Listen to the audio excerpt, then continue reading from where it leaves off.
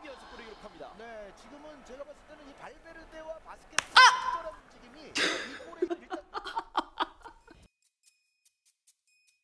안녕하세요. KBS 드라마 스페셜 딱밤 한 대가 이별에 미치는 영향에서 오진 역을 맡은 신예은입니다. 차민재 역할을 맡은 강태오라고 합니다.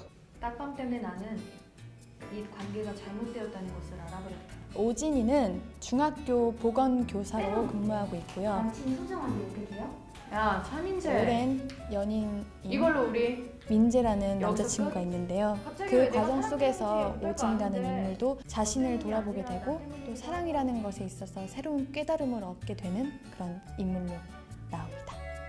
민재는요 음, 성공한 친구인데 사랑에 있어서는 좀 서투른 감이 없지 않은 친구예요. 미안하다니까 너 진짜 이럴 거야? 갑작스런 이별 통보를 받게 되면서 갈등을 겪고 성장을 하게 되는 그런 인물입니다. 아 그때 음, 그때 그 말했던 음, 최욱생?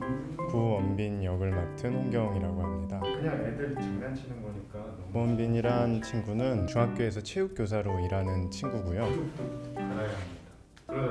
따뜻하고 다정하고 오진을 향한 어떤 선생님이니까 대신 다치고 싶었습니다. 짝사랑을 하는 그런 인물입니다. 정윤정 역을 맡은 하윤경입니다. 반갑습니다. 제니가 일방적으로 삐지는 애니 윤정이라는 잘좀 하자 역할은 대표님아 진이의 가장 친한 친구이자 또 민재의 3년을 친구이기도 하면서 아니라고? 그러니까 그것도 이유가 있었을 거 아니야 둘의 이별 사이에 끼어서 조금 피곤해지기도 하지만 지밖에 모르는 남자 곁에 있으면 얼마나 외로운지 아니까 헤어지자고 한 거야 어떤 여자가 외롭고 싶니? 든든한 친구로서 또 자리해주는 네, 그런 역할입니다. 대본을 처음 딱 받았을 때 어, 딱밤? 딱밤 한 대가 어떻게 영향을 미칠까라는 그런 호기심과 궁금증으로 이 대본을 보기 시작했는데요. 현실적인 감정 그리고 누구나 공감할 수 있는 그런 연애 이야기인 것 같아요. 감정들이나 얘기들이 잘 담겨 있어서 저도 되게 대본을 재밌게 읽었고 다른 캐릭터들도 다 개성이 살아있고 같이 하면 너무 즐거운 작업이 되겠다 이런 생각이 들었던 것 같아요. 어떻게 딱밤 한 대가 이별에 영향을 미치게 되는지 여러분들도 궁금하시죠?